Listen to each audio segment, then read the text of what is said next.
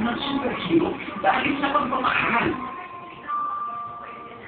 Pagmamahal sa kaibigan. Pagmamahal sa kapatid. Pagmamahal sa ama.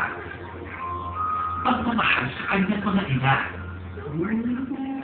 Pinatunayan ni Super Ringo na ang kabutihan ng puso ang pinakamalakas na sa lahat.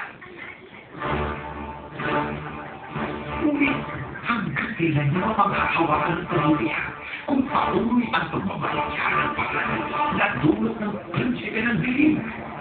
At dahil sa paghanap kanyang ina, paano kung kaligtas ng kanyang inaasini na kapatid? Anong gagawin niya kung malaman niya na wina na nakalagay nito ang mas kong kapangyarihan? Si Jomar ba ay magiging superhero? Sa pagbukas ng kami-kaming kabanata ng buhay ni Superhero, saan natin ba siya makikilala?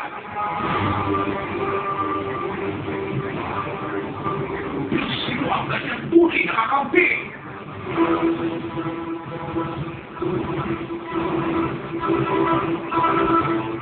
At sino ang kanyang tunay na kalaban? Superhero! One, one, one! Ang 方便